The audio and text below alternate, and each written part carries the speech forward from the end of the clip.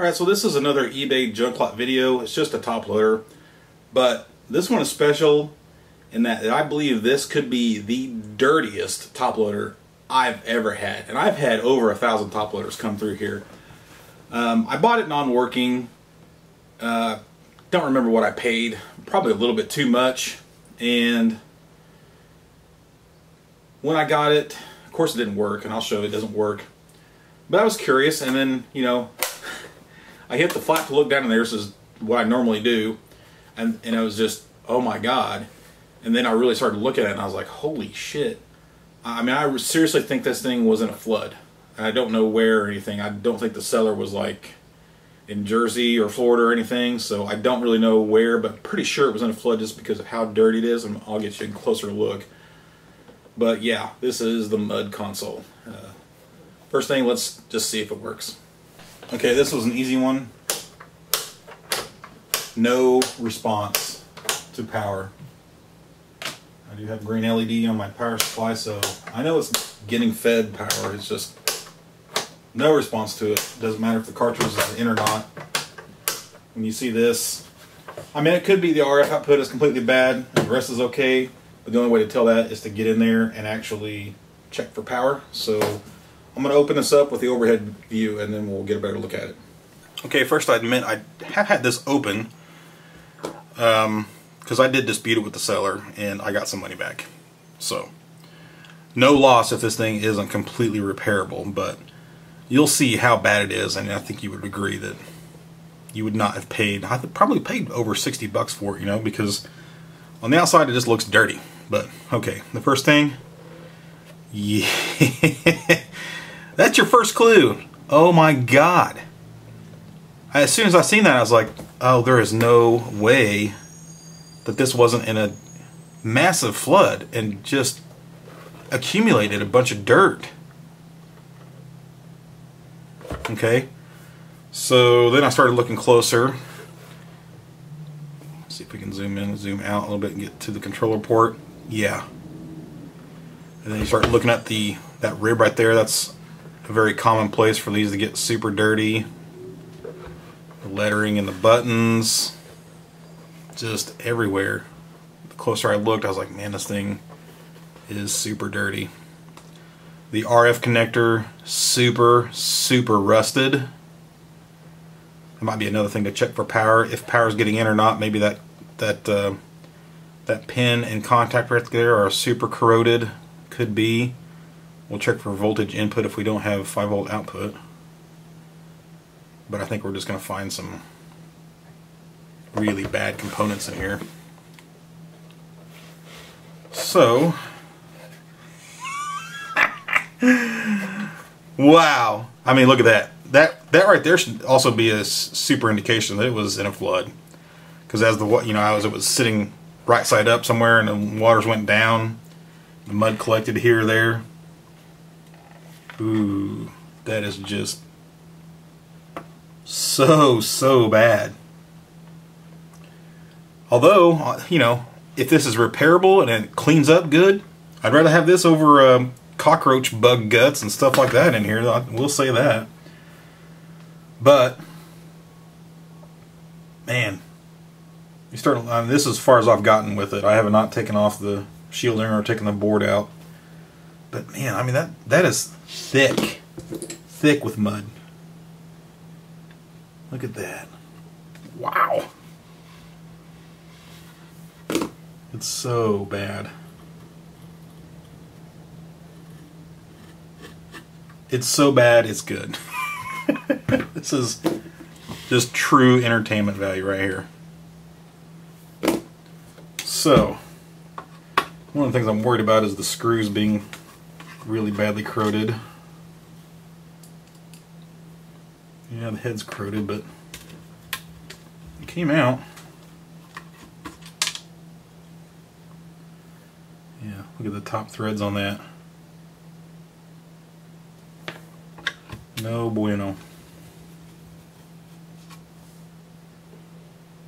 That one survived pretty well.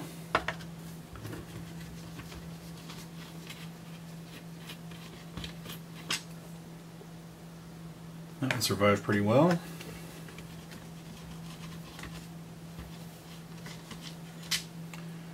And that one looks okay. Right on.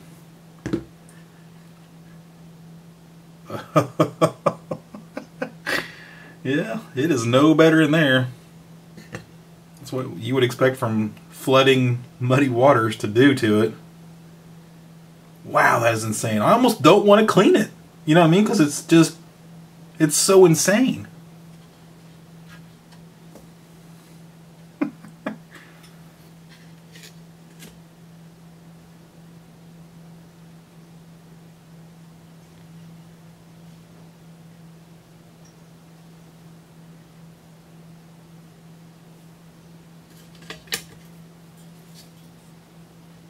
Hmm. Well, I've seen rustier. A little rust forming around the edges. I've seen a lot worse than that.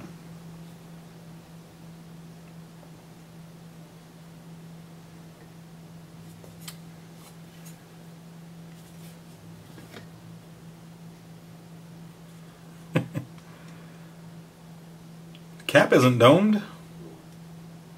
That's fun. There's a big hair in there.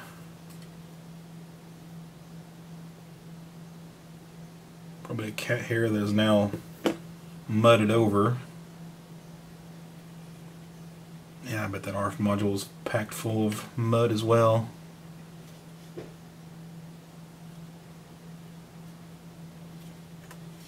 These screws are looking a little worse for wear too.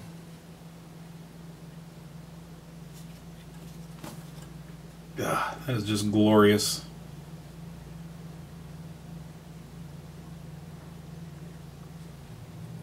You know what? You know what I think I'll do? I think we'll put it to a vote. Seriously, I think I'll, uh, I think I can do a poll where something pops up on the video and you can actually do a poll. It seems like I've done that on one other thing I can't remember what it was for.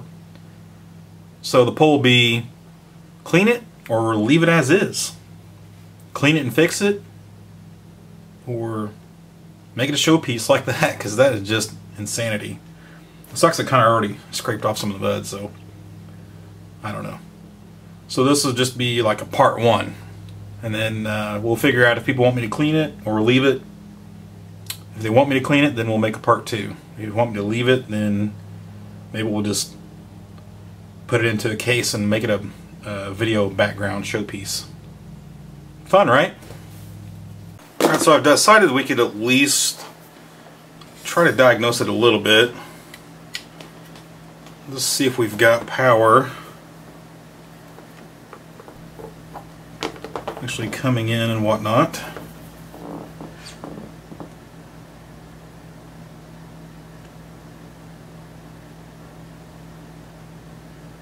Hmm.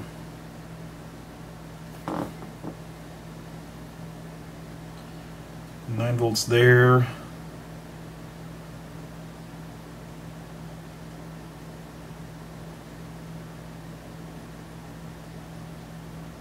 Hmm. It's not even getting through the inductor.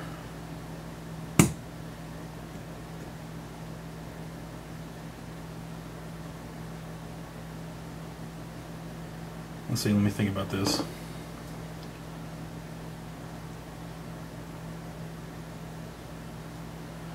Yeah, I think we should show potential there, right? Maybe not.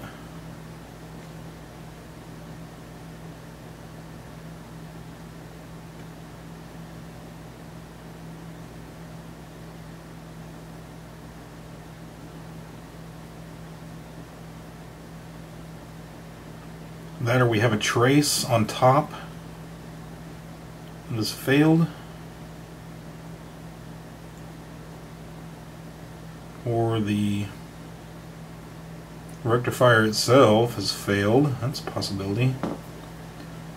That's about where my voltage ends. Let's see. Man, it's been a while since I've had to mess with that rectifier. Does it go from this pin to this pin? I'm going to say that it actually does.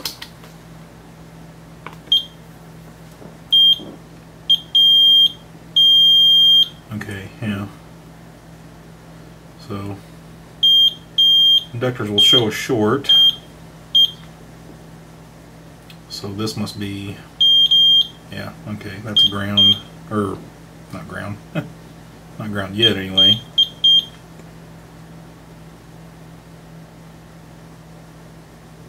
Hmm. So yeah, I, that is actually looking like the the bridge rectifier. These four pins is what's failed right now. Because now I get nothing out of that pin. I don't think turning it on will make a difference. 1.1 volts. Nope. And let's see, our input pin for the 7805 is still only getting 1 volt. Obviously our output pin, 5 volt pin is not getting anything. So yeah, I'm going to say at least a bad bridge rectifier or a trace or two to the rectifier right there has been messed up. Actually, I can tell the traces are messed up, can I? this goes from there. Huh. Yeah, I think it goes should go from there to one of the pins and from there. Okay, so from there to there is okay. But from over here I believe the here is bad. I'm like I, I think I can show you that on a different board. Okay, so here's one of my top loader boards that uh, just had way too many bad traces on the bottom from corrosion. But you can easily see where the traces on top are that go from the inductor over to the bridge rectifier. It's just two short traces right there. From there to there, and there to there. Then I'll say your power jack over to the inductor, like so. And we knew those are good, but the the long one, I believe, is what we seem to be having trouble getting, which would be here to here. It's just not there. So, technically, I could solder a wire from here to here, and we could go a little further with it, but do we want to do that? Kinda, honestly, but it just seems like this would be a bad idea. I'm sure this is all dry now, but even just a little bit of residual moisture could cause major problems. Know, if these chips are still in good shape, if we vote to clean this thing up, then don't want to burn them out now. You know, I'd rather clean it up first and then try all that. My vote is to clean it. Um, mostly because I'm the only person in the world that cares about stuff like this. I mean, I look at that and I just laugh my ass off. But I don't know that I need to display it. And if I put it in the background as a display, I don't know that a lot of people that come to the channel that are new are going to understand why that's amazing. You know, and it's on video now, so we've got record of it. But we'll still try the poll and see what happens.